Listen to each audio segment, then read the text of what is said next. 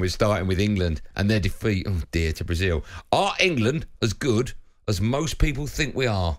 Now chipped over the top. It's an opportunity now for Brazil to get in. Finishes his goal side. And Pickford can't make the save. 1 0 Brazil. I was thinking that, you know, we've had more than our share of the game. Brazil, they have won by a goal to nil. It's England's first home defeat since 2020. It's coming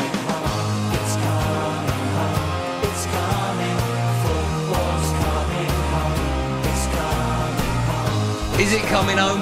Is it 03717 223344? You can dial in now and have your say. In fact, if you dial in now, you might even get on now or on the other side of the break. But we would love to hear from you. 03717 223344. Virgin, let's go to the top of the pile. All right? Uh, England, what did you make of it? Before the game, we were all pretty confident, even even before we found out that Brazil were going to be pretty weakened, which they were. Um, what did you make of the game? Not great. I mean, Brazil. I mean, that could have been four in a row because they were going into that game with no form whatsoever, losing their three before that. Um, also, not an iconic Brazilian team. You'd say and that's no disrespect. They've got some unbelievable players, by the Yeah. way, but they're not Brazil of old. Where Why you- were they? Sorry, why were they not in the yellow? do you know what? Me and my dad had this conversation. That annoyed me. That- Where's their, their yellow? I mean, if you've got Brazil coming to Wembley, Get the yellow one. get the yellow kit out. I thought- I, I thought guess the it's same a thing. deal with whoever makes their kit in Nike. Maybe, but people want to see the yellow. Of course they do. But I just thought it was um, maybe of a mixed mixed bag. You'd have to say. I mean, a, a couple of performances where I got exactly what I expected. I thought Jude Bellingham was good, tried to make things happen. Yeah. Um, I mean, M- cent- Maguire at centre half. I think there's a problem there. I think Chilwell left back didn't do himself any justice. Um, and also as well, another thing that annoys me about. So I read the reports after I watched it. I always have to go through the papers, have a look, see what people give scores and stuff. Yeah. And one, someone gave Ollie Watkins a four. Okay, fair enough. But it said missed an absolute sitter.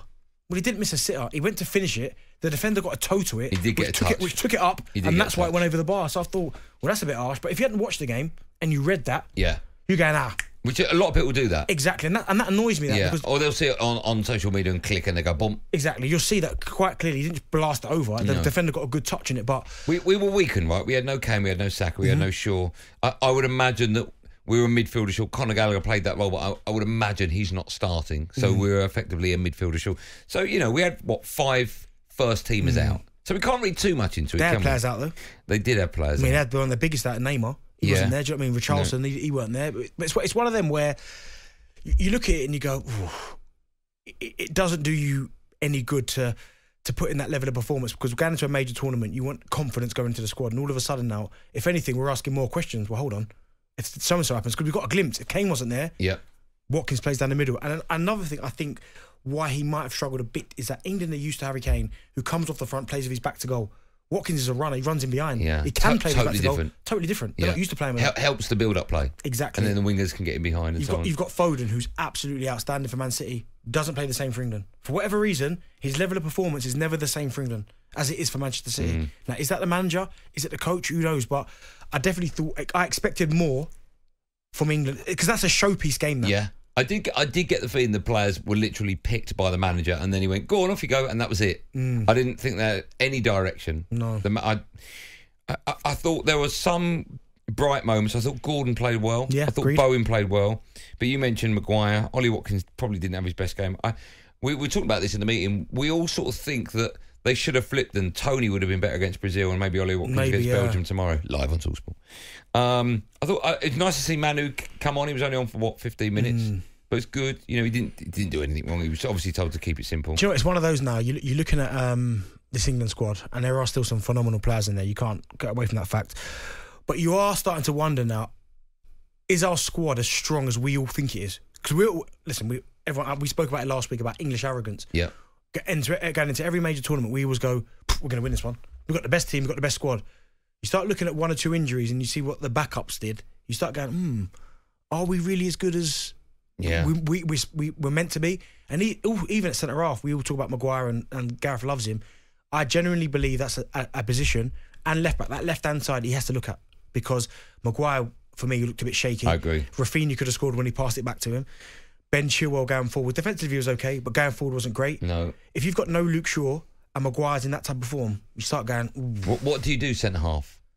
Because that I would imagine that's that's why Gareth favours putting two holders in front of that defence because he doesn't trust Start, starting to make a lot of sense now. Yeah, but then We shouldn't have to do that, right? No. We should be good enough. Well, Who do you play alongside Stones? That's the problem. You put Walker there and then play a, another right back. G- Gomez maybe. I thought Konsa did well when he come on, but again, these are untested. Dunk. Yeah, yeah. Well, I don't think he had his best game, but Branthwaite's too too early for that. I mean, what you want in an ideal world is Branthwaite to start against Belgium and be absolutely unbelievable. But I can't see Gareth changing his starting eleven Mate, on if the he back plays of well one against friend. Belgium, then you and does well, you go. Do you know what? Throw him in, man. Where would this team finish in the Premier League? Depends who's in charge. Gareth. Sixth, seventh. Okay. Pep. Pep. They win it probably. You think so? Yeah. Okay. Are you worried about what you've seen or not? I won't say I'm worried, but I, I definitely would have. I was more comfortable before the game, and then seeing the outcome and how we played, Yeah. I was a bit more like, ooh, okay.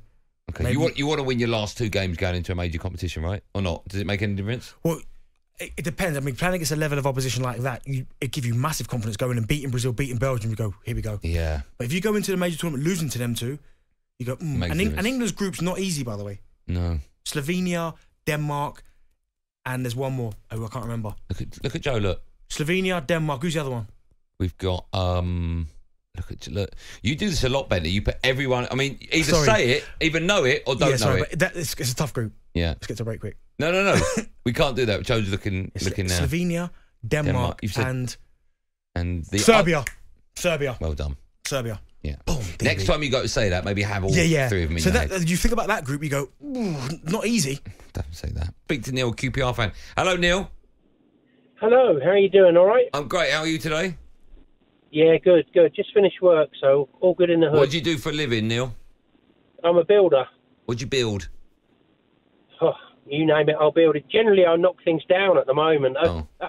What's the weirdest thing you've been asked to build, Neil? Oh, dear me, I don't know. Oof, Probably a, a pool room somewhere. Oh, right, okay. Pool, as in as in the swimming pool. Oh, right, okay. Why want is to that's, that, I want that's weird. yeah, why is that weird? You have no idea why it's weird, but you ask for the weirdest thing, and um, you know, mostly it's just buildings, Oh, extensions, Okay. conservatories. What, so, what know. would you like to say in the footballing world, Neil? Uh, well, there's a couple of things really. One of which you're not really talking about, and I think you should. One of which is Gareth Southgate, tactically inept. You've got to look at the the one, the biggest situation that we remember, everyone remembers, Chiellini fouling Saka. What did he do with it? What do you He mean? did What did nothing. it? What did he do with it? What did Chiellini do? He pulled Saka back, hmm. plenty of the game left, got a yellow card. So why did he pull him back? Because he's old, he's slow, and he couldn't cope with Saka. So everything should have been pushed at Chiellini. All our attacks, all our speed, all our force, everything should have gone at Chiellini. He'd have made another stupid error, got another booking, may have been down to 10 men. They'd have lost their talisman. Their heads would have gone down, and we'd have won the Euro. I mean, Neil, that is a lot of that is a lot of what ifs. I mean, an awful lot of what ifs. Of course, it's uh, yeah, but the whole your whole program is about what ifs. So you know you can't throw what I'm saying what ifs when all you do is say what if, what if, what if. The whole all about football, everything that that everyone talks about is what if. Well, it's So- not really. If I say, is Harry well, Kane the greatest striker in the world, there's, that's not a what if. Yeah. Well, no. What if he's not? What if he's not fit? And then it's a what if. Well, no, it? no, no. Whenever you ask, is someone the best player in the world? It's always when they're fit. Yeah. It's not when they've got a broken leg, Yeah, is but- it? Yeah, but he's not the best player in the world. I know, Harry but Kane, I'm just no. I'm just So- making the point that sometimes we ask a question, we don't ask what ifs. No, we're, but your whole program is built on No, this not. happened, that happened. No, it's not. Okay, in your opinion. No, it's not, is You're- it? If I say, if I say, okay, uh, okay. If I say, Okay, are so- Man City going to win the league? Hold on, Neil. If I say, are Man City going to win the league? Oh three seven one. Where's the what if question? Well, what if they don't? What if Arsenal score more points? Yeah, but that's Yeah, not. a that- that's not the question That's he's not a question I'm asking, is it? Are you are you talking about whether whether things are a what if or whether they're not, or whether I don't know what's happening now. Is- is- I don't. What? tactic- What? What if I go to Phil? Thanks, Neil. Hello, Phil. I'll save some sanity. Hello, Phil. Are you all right? Not so bad, not so bad. Uh, giggling to yourself. You're like Oh. a pair of, pair of like uh, can't Oh, what is going on? What if we go back to? No. What if we had a good phone line? We'll go back to you in a minute, Phil. Uh, George is up next. Hello, George. Hi guys, great shows ever. Thanks, George. You all right? You well? Sorry, what was that? Are you, are you well today? I'm very well, sir. Okay. Very well. Can you make your point without using the sentence "what if"? of course I can. Okay. Um, England, wow.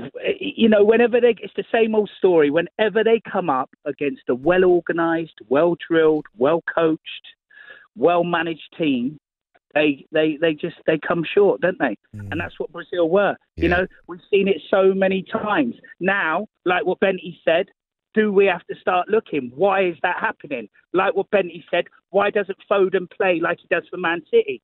Do you think with that talent on the field, with Pep in charge, we'd be winning a lot more than European Championships? Yeah, we would. I think you know, like, eh, and all this, all this pinning this on Harry Kane. Yes, he's a good player. Yes, he bangs them in.